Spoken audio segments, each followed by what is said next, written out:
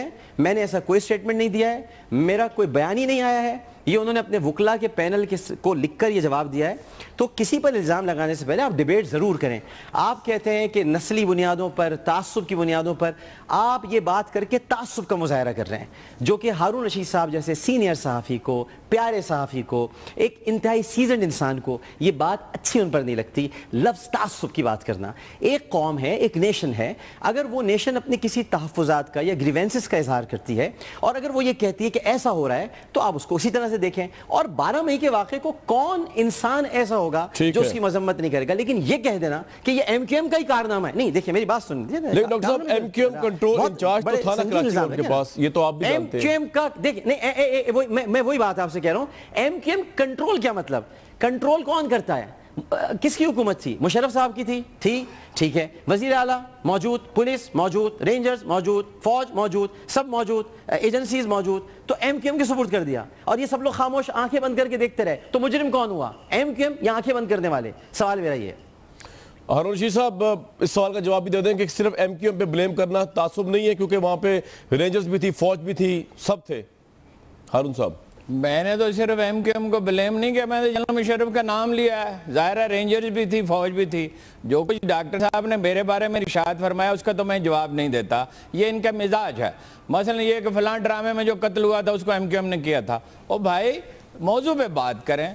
اور یہ جو انہوں نے کہا حسد سے میں مر جاؤں، میرا ان کا کیا حسد ہے؟ میں نے ان سے حکومت لینی ہے یا انہوں نے میری اخبار نویسی پہ قبضہ کرنا ہے؟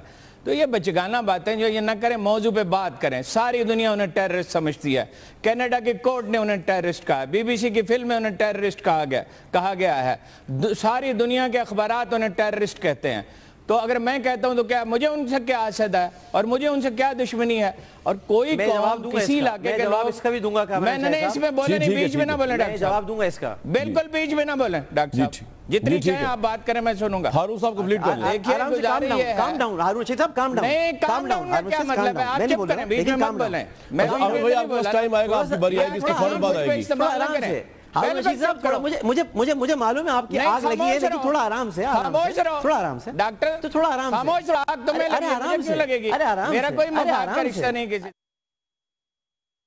اچھا ہارون صاحب کی بات سنیں گے ہارون صاحب پھر آئیں گے ہارون صاحب کے جی ہارون صاحب کمپلیٹ کر لیں۔ آپ نے کہا ساری دنیا سمجھتی ہے میں بولا آپ کی بات میں ایسی ہی آپ بےہودہ باتیں کر رہے تھے اس کے باوجود میں سنتا رہا۔ ٹھیک۔ جی ہارون صاحب سے مر جاؤ شرم تمہیں آتی نہیں ہے۔ جب تم چاہتے ہو جس پہ چڑھ دوڑتے ہو تم نے کوئی مذاق سمجھا ہوا ہے ہر کوئی ڈرتا ہے، تمہاری بدتمیزی سے، میں تمہاری بدتمیزی سے نہیں ڈرنے والا۔ میں تمہاری طبیعت صاف کر دوں گا، بالکل تمہیں درست کر دوں گا۔ بات یہ ہے، انہیں ساری دنیا ٹیرسٹ کہتی ہے۔ انہیں تمام کراچی کی آبادی کی اکثریت انہیں ٹیرسٹ کہتی ہے، ان کے خلاف کوئی آرگنائزڈ پارٹی نہیں ہے، ان کے ووٹ گر رہے ہیں۔ الطاف حسین کی تقریریں اگر صرف پچھلے ایک ہفتے کی سنی جائیں تو اس میں وہ ٹیرسٹ ثابت ہوتا ہے۔ یہ میرے موبائل میں اس کی تقریر ہے کہ کیل کیسے ٹھونکی جاتی ہے، بھیجا کیسے نکالا جاتا ہے، اسے فرائی کیسے کیا جاتا ہے، کتوں کو کھلا دو۔ روز وہ ایسی تقریریں کرتا ہے۔ آپ کہتے ہیں وہ ٹیررسٹ نہیں ہے اور وہ متصب نہیں، لوگ اپنے حقوق کی بات کریں، بلوچ بھی کرتے ہیں، پنجابی بھی کرتے ہیں، سندھی بھی کرتے ہیں۔ وہ اور بات ہے، کیا راز ہے ان کا تعلق اسٹیبلشمنٹ اسٹیبلش نہیں ہے؟ آپ ایسے بات کر رہے ہیں جیسے میں دنیا کا پہلا آدمی ہوں، جس نے انہیں ٹیررسٹ کہا۔ کون انہیں ٹیررسٹ نہیں کہتا؟